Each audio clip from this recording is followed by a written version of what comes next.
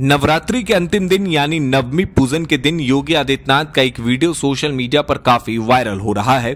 Video में योगी आदित्यनाथ, गोरखनाथ मठ के परिसर में कन्या पूजन करते हुए दिखाई दे रहे हैं। योगी आदित्यनाथ का ये कन्या पूजन आपको मंत्र मुग्ध कर देगा, लेकिन इस वीडियो में कई वायरल दृश्य दिखे।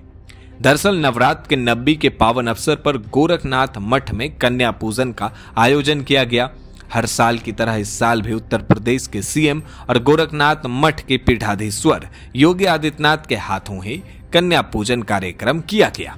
आप वीडियो में देख सकते हैं कि सीएम योगी कन्या पूजन करने से पहले तमाम कन्याओं के पैरों को धोते हैं, उन्हें तिलक लगाते हैं चुंदरी उड़ाते हैं, साथ ही उनके सर पर जयंती भी रखते हैं। लेकिन जब योगी आदित्यनाथ के द्वारा तमाम कन्याओं का पूजन कर लिया गया, तब एक दृश्य कैमरे में दर्ज हुआ। आप देख सकते हैं कि योगी आदित्यनाथ खुद ही उन कन्याओं को भोजन कराने के लिए आगे आते हैं और अपने हाथों से उन कन्याओं को भोजन परोसते हुए नज़र आ रहे हैं।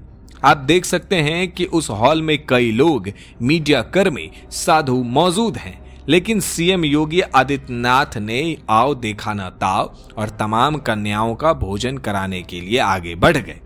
उसके बाद एक छोटी सी बच्ची से योगी आदित्यनाथ ये पूछते हुए भी नज़र आ रहे हैं कि तुम कितना पूरी खाओगी? एक या दो? बहरहाल, योगी आदित्यनाथ के कन्या पूजन वीडियो पर एक्स पर कई लोग कमेंट भी कर रहे हैं। आपको योगी आदित्यनाथ का ये वीडियो कैसा लगा, हमें कमेंट बॉक्स में ज़रूर बताएँ। टीएनएन वर्ल्ड से मैं हर्षवर्धन इस रिपोर्ट के साथ आप तमाम जनता से विदा लेता हूँ।